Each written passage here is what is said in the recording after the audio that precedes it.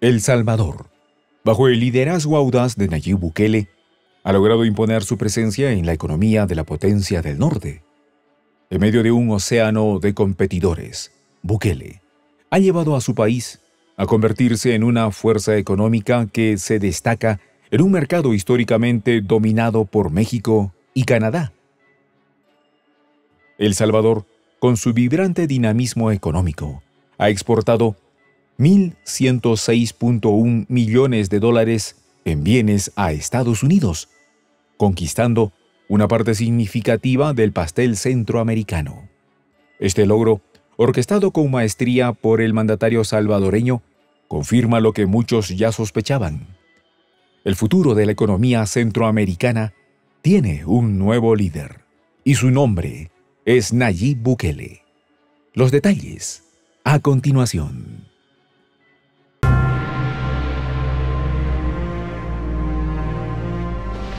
Voz de la Patria Grande. Bukele los tiene comiendo de su mano. El mundo ha sido testigo de cómo Nayib Bukele, el carismático presidente de El Salvador, ha logrado lo que muchos creían imposible.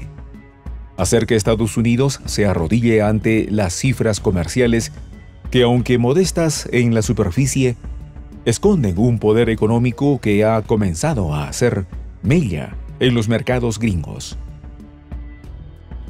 Con cada dólar que atraviesa las fronteras, se va tejiendo una historia de dominio silencioso, donde El Salvador, con sus modestas dimensiones, ha comenzado a imponer su marca en el titánico mercado estadounidense. Las cifras no mienten. Durante el primer semestre de 2024, Estados Unidos importó bienes por un valor de 1.208 7 millones de dólares desde El Salvador, lo que representa un 7.9% de todo lo que adquirió desde Centroamérica. Esta nación, situada en el corazón de América, ha encontrado la manera de insertarse en el tejido económico de la potencia del norte, y lo ha hecho con una determinación y estrategia que reflejan la visión audaz de su líder. En ese 7.9% de bienes salvadoreños se esconde un relato de crecimiento, resistencia y sobre todo de un astuto aprovechamiento de las circunstancias. El comercio entre Estados Unidos y El Salvador es sin duda un engranaje fundamental en la maquinaria económica de ambos países. Los bienes salvadoreños han encontrado su camino hacia las estanterías y fábricas de la nación estadounidense, donde la demanda de textiles, productos alimenticios y bebidas provenientes de El Salvador ha mantenido un flujo constante de intercambios. Pero esto no es simplemente una cuestión de intercambio de mercancías. Es la historia de cómo un país pequeño ha comenzado a hacerse un lugar en la mesa de los grandes, y lo ha hecho con una astucia que desconcierta a más de uno.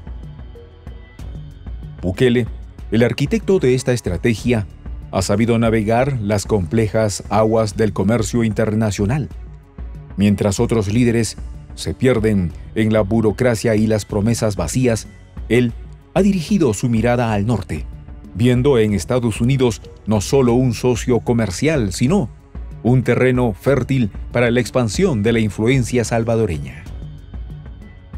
Y lo ha hecho, con una ironía que no pasa desapercibida.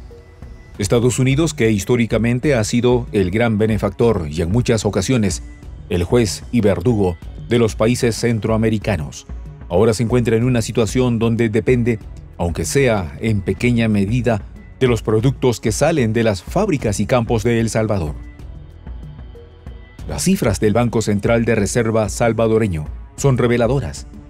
Durante el primer semestre de 2024, las exportaciones salvadoreñas hacia Estados Unidos alcanzaron los 1.106.1 millones de dólares.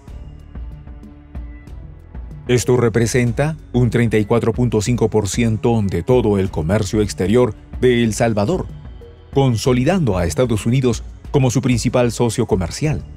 Pero detrás de estos números hay una historia más profunda Una narrativa que va más allá de los intercambios comerciales y que se adentra en el juego de poder entre dos naciones con intereses entrelazados. Los bienes que El Salvador exporta a Estados Unidos son en su mayoría textiles y productos de industrias alimentarias.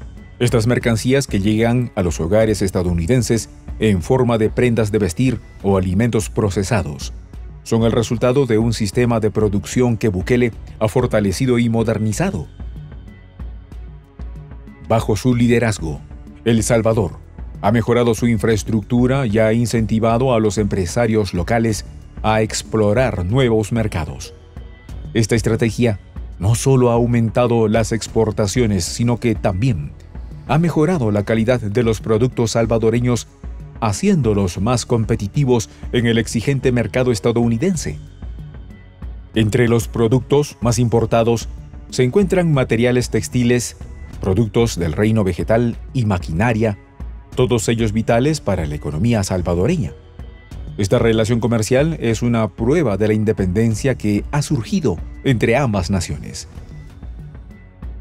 La ironía del dominio salvadoreño en el comercio estadounidense se hace aún más evidente cuando se considera el contexto regional. A pesar de su pequeño tamaño y su economía en desarrollo, El Salvador ha logrado posicionarse como un jugador clave en el comercio centroamericano con Estados Unidos, mientras que países como Costa Rica y Honduras dominan en términos de volumen. El Salvador ha sido capaz de maximizar su impacto con una estrategia que combina calidad, competitividad y una comprensión profunda de las necesidades del mercado estadounidense. Esta resiliencia es un testimonio del enfoque estratégico de Bukele que ha sabido anticipar las fluctuaciones del mercado y ajustar las políticas económicas del país para mitigar los impactos negativos. En el panorama más amplio, El Salvador ocupa el puesto número 69 entre los principales proveedores comerciales de Estados Unidos. Un logro significativo para una nación que ha comenzado a crecer económicamente. En términos de exportaciones estadounidenses, el Salvador se sitúa en el puesto 47, una posición que refleja la importancia de este país en el esquema comercial de la potencia del norte que ahora se ha enfocado en querer influenciar en sus socios estadounidenses. Esta dualidad en la relación comercial es un reflejo del equilibrio que Bukele ha buscado. Mantener a El Salvador como un socio valioso para Estados Unidos, mientras asegura que su país no dependa exclusivamente de este intercambio. En este contexto, donde se entiende la ironía de la situación, Estados Unidos, acostumbrado a dictar las reglas del juego en la región, ahora se encuentra en una posición donde debe reconocer la importancia de El Salvador en su cadena de suministro. Bukele, consciente de esta dinámica, ha utilizado esta ventaja con maestría fortaleciendo la posición de su país en la mesa de negociaciones y asegurando que El Salvador no sea simplemente otro país en la periferia del poder estadounidense, sino un actor con voz propia. La historia de cómo El Salvador ha comenzado a dominar el comercio estadounidense es en última instancia una historia de ingenio, resiliencia y una estrategia que ha sabido aprovechar las oportunidades en medio de un escenario global cambiante. El presidente Nayib Bukele, con su estilo directo y su enfoque en los resultados, ha llevado a su país a un lugar donde pocos imaginaban que podría estar. Y mientras Estados Unidos sigue importando productos salvadoreños, lo que queda claro es que El Salvador ha logrado que la potencia del norte reconozca, aunque sea de manera indirecta, el poder emergente de Bukele. Soy el J, Juan José del Castillo, director del canal Prensa Alternativa. Si quieres ser parte de la comunidad de la Patria Grande, suscríbete a nuestro canal. Si es que quieres que te lleguen las notificaciones cada vez que subimos un video, activa la campanita.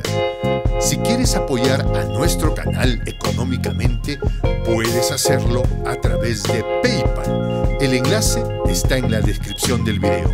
A nombre del equipo de prensa alternativa, me despido con esta expresión en el quechua milenario, Tupananchis Kama, traducción es hasta volvernos a encontrar.